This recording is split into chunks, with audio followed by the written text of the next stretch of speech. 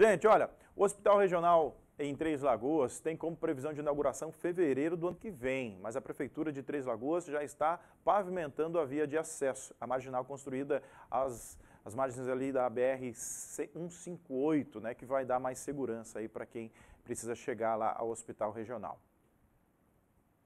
Às margens da BR-158 foi construída a marginal de acesso ao Hospital Regional, trazendo mais seguranças e benefício aos moradores dos fundos do bairro Paranapungá. Uma obra em conjunto com o governo do estado, no valor de mais de 4 milhões de reais.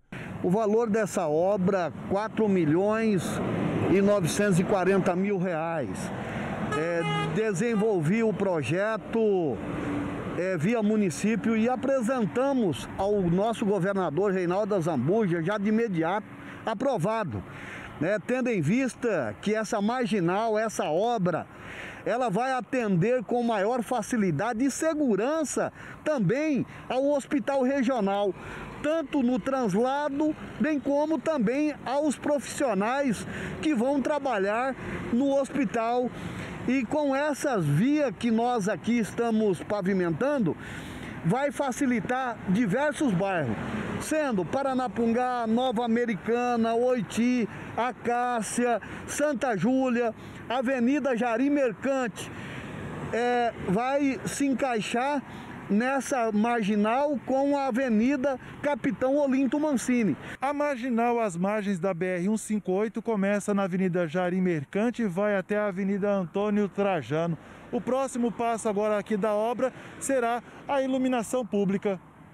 A marginal termina na Avenida Jari Mercante. De acordo com o prefeito, neste local precisa de uma obra de macrodrenagem e aguarda a construção do macroanel, que é de responsabilidade do Departamento Nacional de Infraestrutura e Transporte. De macrodrenagem, um investimento alto naquela região. E a sequência dali até o bairro Santa Júlia, temos um gargalo ali que é parte de bacia de água que nós temos que aí fazer a tratativa com o DENIT. E toda a tratativa com o DENIT não é fácil, né? Ela se perdura por diversos meses para podermos ter a liberação e a autorização.